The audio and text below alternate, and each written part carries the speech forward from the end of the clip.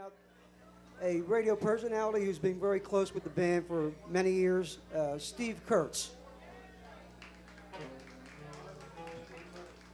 Thank you, everyone. Welcome to the legendary Dobbs. My name is Steve Kurtz from Cruiser 92.1 FM, and I'll be your host for the evening.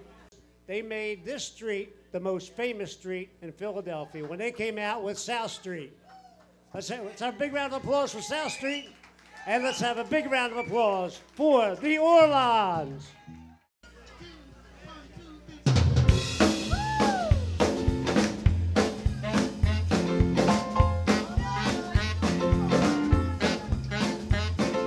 Where do all the hippies meet? South Street, South Street, where the